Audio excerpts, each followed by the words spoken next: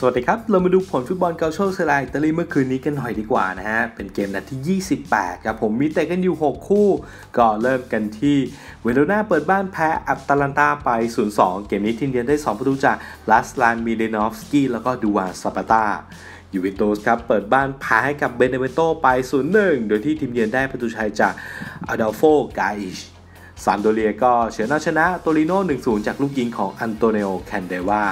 อูดิเนเซ่แพ้คาบ้านให้กับลาซิโอไป 0-1 ทีมเยือนได้ประตูชัยจากอดัม มารูซิช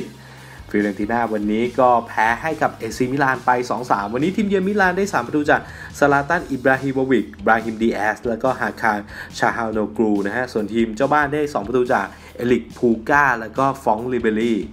โรม่าครับ วันนี้เปิดบ้านเอาชนะนะเออแพ้ให้กับทางนาโปลีไป 0-2โดยที่ทีมเยือนได้ 2 ประตูชัยจากดรีสเมอร์เทนส์ครับเหมา2 เม็ดไปเลย แล้วก็เลยทำให้ตารางคะแนนในตอนนี้เนี่ยอินเตอร์ครับที่อาทิตย์นี้เลื่อนเตะไปครับยังนำเป็นจ่าฝูงที่ 65 คะแนน อันดับ 2 เป็นเอซี มิลานมี 59 อันดับ 3 แล้วก็ 4 เป็นอตาลันต้ากับยูเวนตุสมีทีมละ 55 อันดับ 5 ตอนนี้เป็นนาโปลีมี 53 อันดับ 6 โรม่า 50 อันดับ 7 ลาซิโอ 49 อันดับ 8 ซาสซูโอโล่มี 39 อันดับ 9 เวโรนามี 38 แล้วก็อันดับ 10 ซามพ์โดเรียมีอยู่ 35 คะแนน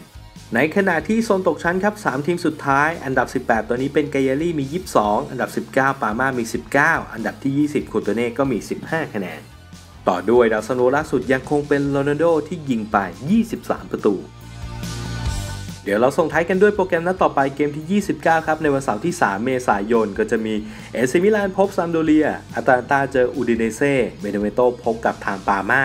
กายารี่เปิดบ้านเจอเวโรนาเจนัวจะปะทะกับทางฟิเรนตินาลาซิโอพบกับทางสเปเซีย นาโปลีเจอโครโตเน่ซาสซูโอโล่เล่นกับทางโรมาแล้วก็บิ๊กแมตช์ไม่ใช่สิดาร์บี้แมตช์เมืองตูรินนะฮะ โตริโนเจอกับยูเวนตุสแล้วก็ปิดท้ายด้วยโบโลญญาจะเจอกับอินเตอร์มิลาน